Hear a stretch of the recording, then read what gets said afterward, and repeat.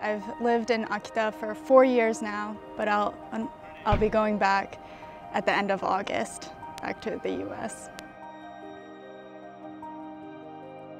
Yeah, this is my third year in Akita, and I'm also going back soon. This is kind of we're, we're on the we're on the tail end of our our Akita experience. Now. Yeah. Yeah. It's kind of crazy, one month left.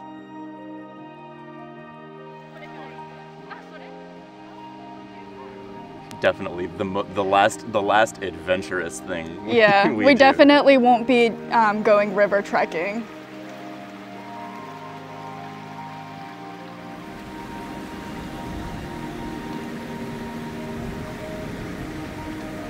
What I do like with some of the hiking trails around here is that you can experience a lot of different landscapes within the hike.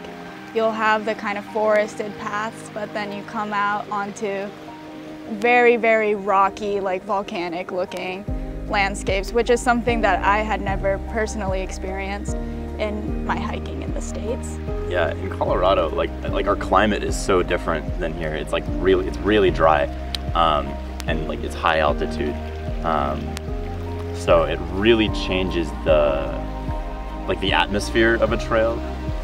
It's really different, like the the mosses and things, and and just the number of trees. The trees are so much denser here. Um, where I'm from, you'll have just a few few pine trees kind of like clinging on, but here they're everywhere, right? So you do feel kind of like insulated. 昔日本ではいろんな日本中の山の中で こういう感じのところねよく岩屋って呼んでたのそういうところで昔の、えー修行僧お坊さんこういうところで7日間ずーっとひたすら祈りながら過ごしてたとかね You want to meditate for a minute? Should I? well, I forget. I forget the hands. It's like this. It's like this. And I think when you start losing, Yeah, you can right. tell when people start losing or falling asleep or something. Like, in some ways, through the people that I've met here, I almost feel a little bit more connected to Akita's nature than I did back home. ゴールのお立ち台にどうぞおいお疲れさんはーいじゃあ森林浴行きましょうか Okay. はい、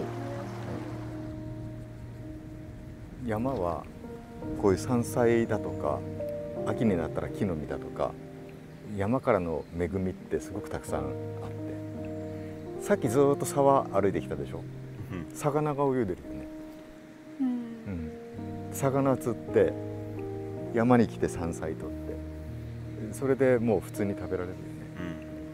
Mm. あとは小さな田んぼでお米作って、うん、でまだまだね山の恵みってたくさんあってうーんとここの辺にあるのがこれ水だよね。うんずーっとあるこれ水。これはトゲトゲチクチク。アイコっていう山菜。これも味噌汁に入れたりだとか。うん。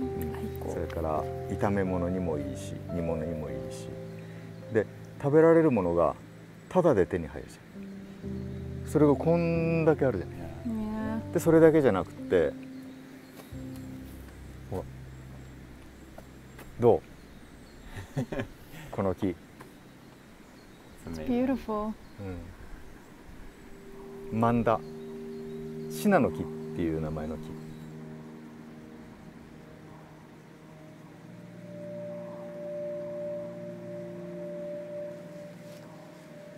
내가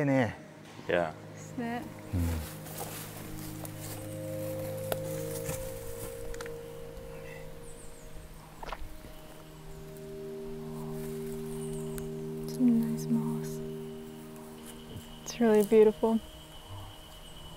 I like how the moss is coming down and the. It's like it's just kind of relaxing, right? Yeah. Light's coming in nicely. Yeah. Yeah, see, it would be great to climb it and just like lay down right there. Right. Yeah, right there. Recently, I've started to value, I guess, tranquility more than I used to. I've had more instances where I felt like, like, man, like I really need to kind of take a break.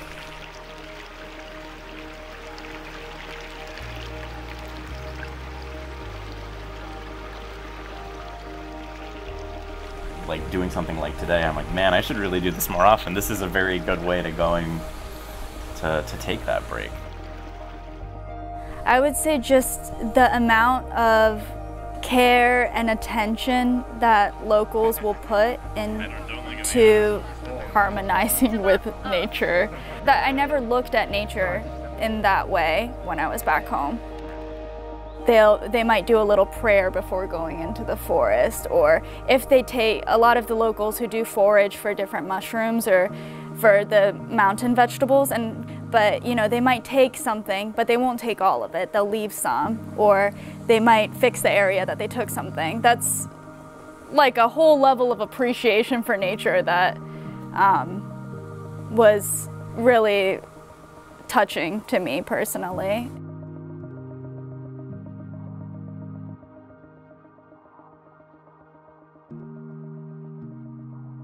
Cameron was over here today. He was like, I think this might be the best outdoor activity I've done in Akita.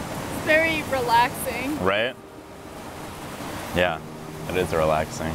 it just makes me want to live out here for a few days, right? Like, like this, this feels like Japan. Like this, this is gonna. Yeah. There, you know, I have like the brief moment where I'm like, oh, I don't know if I can leave. like, you know, um, yeah yeah, I think I'm gonna. I, I mean, I know I'm gonna miss it.